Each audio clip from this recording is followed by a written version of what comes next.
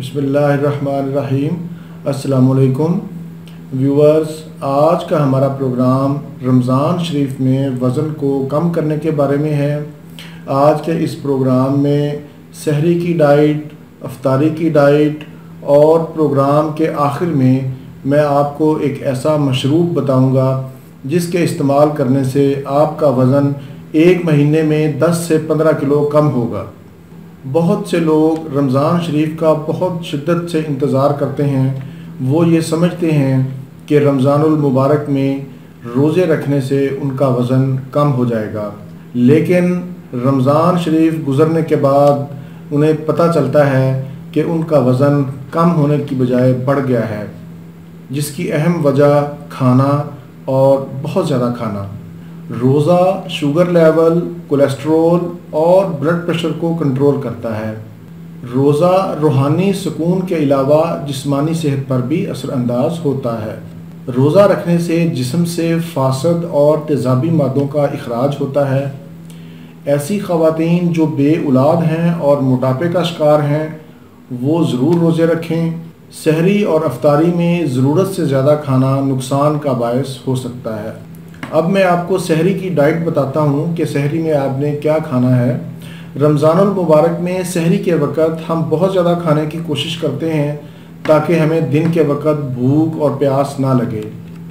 एक बात याद रखें कि ज़्यादा खाने से भूख और प्यास ख़त्म नहीं होती, बल्कि अल्लाह ताला सब्र दें तो भूख और प्यास ख़त्म होती है। सहरी में चिकनाई के बगैर दही और लस्सी का इस्तेमाल करें पराठा और तली हुई अशिया से परहेज़ करें। अफ्तारी में एक खजूर ही काफ़ी है, इसके साथ सादा पानी का इस्तेमाल ज़्यादा करें। कहते हैं कि एक खजूर तीन सेब के बराबर है। इसके अलावा फ्रूट फ्रेश जूसेस और कुदरती ड्रिंक्स भी ले सकते हैं। इसके बाद नमाज़ पढ़ें। नमाज़ पढ़ने के बाद खुश्क रोटी सब्ज़ी के साथ खाएँ। सलाद का इस्तेमाल ज़्यादा करें। अफ्तारी में समोसे, पकौड़े कचौरियाँ और मुरगन अशिया से परहेज़ करें। कोशिश करें कि शहरी और अफ्तारी में जौ के आटे की रोटी खाएँ। अगर जौ के आटे की रोटी बनाना मुश्किल हो तो गंदम के आटे में जौ का आटा मिक्स कर लें। आधा गंदम और आधा जौ का आटा मिक्स कर लें। इससे रोटी आसानी से बन जाएगी। अगर आप अपना वज़न कम करना चाहते हैं तो खाने को चबा चबा कर खाएँ। और खाने के वक़्त खुद पर काबू पाने की कोशिश करें। अगर आप अपने आप पर काबू नहीं रख सकते तो आप वज़न को कंट्रोल नहीं कर सकेंगे। अब मैं आपको ऐसा मशरूब बताता हूँ, जिसके इस्तेमाल से आपका वज़न एक महीना में 10 से 15 किलो कम होगा।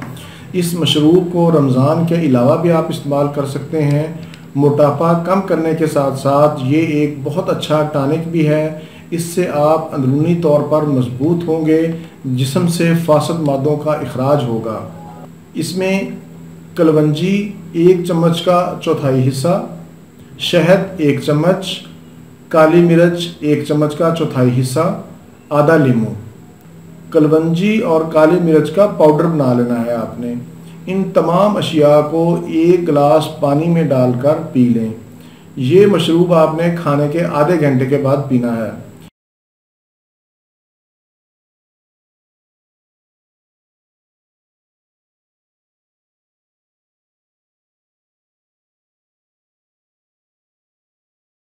व्यूअर्स ये था मेरा आज का प्रोग्राम उम्मीद है आपको पसंद आएगा.